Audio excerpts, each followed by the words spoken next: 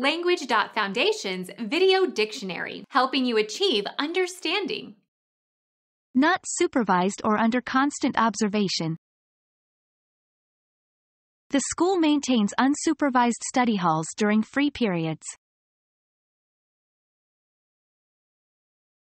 Become our student and get access to effective and free educational materials. Subscribe to our channel to become a part of our growing community and to learn English effectively.